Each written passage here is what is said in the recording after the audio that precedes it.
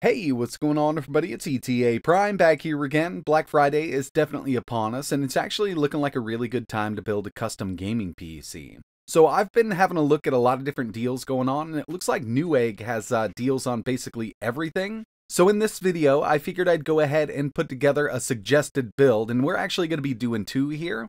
I've tried to come up with some of the best combos for the lowest price, uh, and keep in mind that all of these will be Black Friday deals. If you're interested in putting any of this together, I will leave links in the description. But we're going to go ahead and get started here with the Intel build. And when it comes to one of the main components you need to choose, the CPU, an awesome option right now, especially given the price, is the Intel Core i5 12600KF. This is a really powerful 10 core 16 thread CPU and we've got a max turbo frequency on the performance cores up to 4.9 gigahertz. And with this, we've got 10 cores, 16 threads, 6 performance cores, 4 efficiency cores, and I've actually done a few builds with the 12600K over here on the channel. It is an awesome performer as long as you pair it up with the correct GPU. And you know, when it comes to GPUs, we've actually got a lot of options but we've still got a little more that we need to add to a build. We can't just set the CPU on the desk and plug our monitor into it. So we will need a motherboard to go along with this. And right now, Newegg is actually running a deal on the Asus TUF Gaming Z690 Plus. This does have integrated Wi-Fi. It supports DDR5, PCIe 5.0, and the board itself does have Thunderbolt 4 built in. And this is an ATX sized motherboard, so you will need a larger case to fit this. Now, uh, I would love to go mini ITX with this, but the mini ITX board prices for newer Intel and AMD chips are kind of ridiculous. Recently, I've actually been going the ATX route due to the pricing, and uh, we'll have plenty of room in something like the Phanteks Eclipse G300A, and this is actually one of my favorite cases, at least the white version. But right now, it's only $40 with the tempered glass side panel over on Newegg's website and this will support that ATX motherboard. It'll also support a 360mm AIO up front or a 240 on top. And at $40, it's really hard to beat something like this. And with all of these, make sure you look for another little deal here. You can actually get $5 off with a promo code, bringing this down to 35 bucks, which is an awesome deal for the G300A. Absolutely love this case here. And this has a single fan in the back, or you could bump the price up a little bit and get those triple fans. But given the AIO cooler options that we have for this case here, I think that's going to draw more than enough air in here.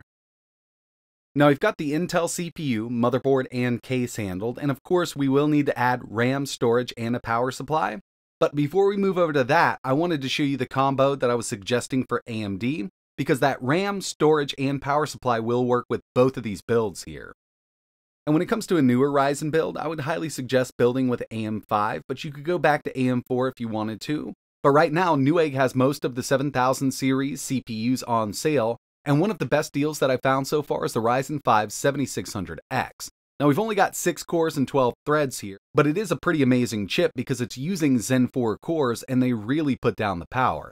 Since we've got that X variant, very easy to overclock. Coming in with a base of 4.7 GHz and a boost up to 5.3, you can definitely get all of your gaming out of the way on this. Now, if you wanted a few more cores, you could move up to the Ryzen 7 7700X, but instead of 219, it's an extra $100 coming in at 319. And to tell you the truth, I mean, with the performance difference when it comes to gaming, that 6 core, 12 thread 7600X is going to be more than enough for a lot of people. And if you did opt for the AMD build, obviously you'll need a different motherboard, and we'll need an AM5 socket motherboard. They've got the ASRock B650M HDV right now for 109. This is a micro ATX form factor. It'll still fit in that Eclipse case, and that's the case I would also recommend for the uh, AMD build here. PCIe 4.0 X16 slots. Obviously, since it's AM5, we do need DDR5 RAM, and it'll support up to 6400 plus, so we can do some overclocking there. And again, taking a look at that case, the Phanteks Eclipse G300A is great but they've got a bunch of different cases in their Black Friday deals section. So, you know, if you don't like the look of this one, there are others. But again, for the price, it's really hard to beat something like this.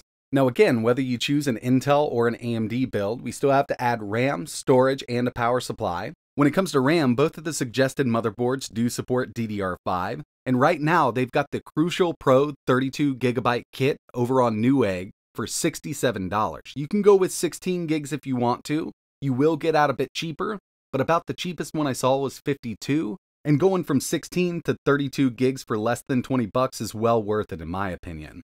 Again, this will work with both boards, and this runs at 5600 megatransfers per second. Storage is also going to be really important, so I would suggest something like an M.2 1TB drive. This is a PCI Express 4.0 NVMe SSD from MSI, and uh, you can go up in storage if you want, but price will increase.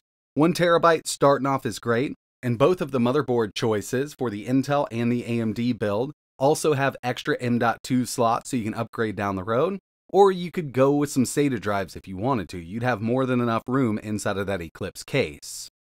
We're also going to need a way to power everything, and I've actually used this same power supply in the past. It's not fully modular, but you will pay more for a fully modular power supply. This is coming in at 600 watts. It's the Thermaltake Smart. We've got more than enough power and connections for a pretty beefy GPU, whether you want to go Intel or AMD, and this will power both of those systems without any issues whatsoever. And finally, for the base of the gaming rig, we're going to need a way to cool either of those CPUs, Intel or AMD. Now you can go with the 240mm AIO. Right now they've got the Deepcool LS520 SE for $89. This will fit in the top of that Eclipse case, no problem at all. You could also put it up front if you wanted to. But for a few more dollars, you can go with the MSI Mag Core 360R. This is the version 2 360mm AIO, which is going to fit right up front in that case. $99 Black Friday deal. Plus, you get a rebate, so after it's all said and done, you're only paying $89. I've used this in a 7700X build without any issues whatsoever.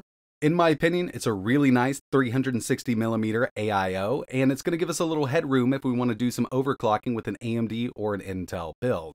So I would really suggest going with the 360. But if you didn't want to go liquid cooled for whatever reason, and I completely understand, less moving parts, good old go to is the Cooler Master Hyper 212. This is the black edition, $39.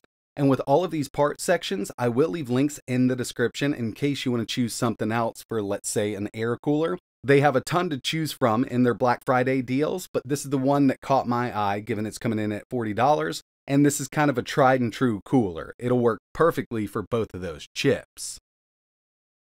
So with everything I've listed so far, we've got the full base of a gaming PC completed, be it Intel or an AMD build. But in order to really game on any of these systems, we will need a dedicated GPU. And Newegg right now actually has a GPU trade-in program, so if you're working with something a little older, you can actually trade in your GPU. They do give us a basic price list right here, from the NVIDIA GPUs to the AMD GPUs. And if you've got an older, let's say RTX 2060, $104 estimated trade-in value. Let's say you've got an RX 6500 XT, $89 estimated trade-in and you can find a new GPU right here, put the uh, trade-in value right up to the new GPU. So if you're interested in learning a little more about the Newegg GPU trade-in program, I'll leave a link in the description, but I did pick out some of these Black Friday deals, and one on the top of my list would be the Radeon RX 7600. This is the non-XT variant. This is the Core Edition, 239, 8 gigs of GDDR6, a boost clock of 2655 megahertz, and it's going to fit right in that case, whether you want to go AMD or Intel. Really good card, and uh, a lot of the stuff, you know, at 1440p high settings is going to work great on the 7600. This is, in my opinion, more of a ultra 1080p card, but you can definitely get away with some 1440p. And really old games, you can go up to 4K with it. Next on the list would be the tried and true RTX 3060. 8 gigs of GDDR6. We've seen this time and time again perform absolutely amazingly. It's the 3060 non-TI variant, 249 $20 rebate, bringing it down to 221 Now that's if you want to get out a little cheaper and go NVIDIA. If you don't mind spending a little more money, I would definitely recommend the RX 7700 XT. This is one that I've actually been using in my main rig for the past few weeks. 12 gigs of GDDR6. And yeah, this is a great 1440p card. This is the ASRock Challenger version but price is a bit high when you compare it to the lower end cards, coming in at 429 And if you wanted to take it up a bit more, they've got a lot of NVIDIA RTX 4070s on sale. 514 right now for the Twin Edge Zotac Gaming Edition. 12 gigabytes of GDDR6X RAM, and this is an amazing performer. I've been able to get away with some 4K high on a lot of the newer AAA games with the 4070, and it's not even the TI variant. And finally, if you want to be a little experimental, Intel actually just launched their Arc A580, and I will have a video coming up on this. We've got 8 gigs of GDDR6. It's not going to perform on par with the A750 or obviously the A770, but at 169, this could be a really good Ultra 1080p card.